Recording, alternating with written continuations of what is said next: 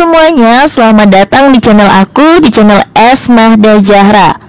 Kota Balikpapan menjadi kota yang dipilih oleh Kedutaan Besar India untuk penyelenggaraan Pekan Budaya India yang digelar tanggal 9 sampai tanggal 16 Februari 2019. Nah, hari ini pertunjukan tari budaya India yang digelar di Plaza Balikpapan. Selamat datang kepada Wali Kota Balikpapan,